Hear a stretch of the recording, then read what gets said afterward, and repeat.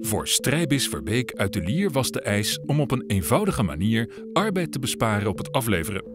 Met het ontwerp diende rekening te worden gehouden met toekomstige uitbreiding van het systeem.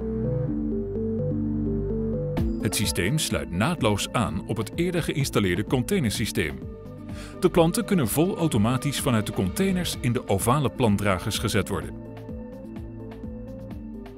Desgewenst is het echter ook mogelijk om planten handmatig in dragers te zetten indien selectief uitgeraapt dient te worden of restpartijen uitgeraapt moeten worden.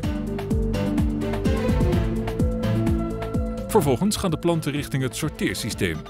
Hier wordt middels een eenvoudig camerasysteem een slimme hoogtemeting uitgevoerd. De planten worden verdeeld over de verschillende impactstations. Mensen staan aan een vaste werkplek de planten voor de voet op in te hoesen. Nadat de planten zijn ingehoest, worden deze in trays geplaatst en op een tray buffer geplaatst. Hieruit kunnen de klantspecifieke mengsels worden samengesteld.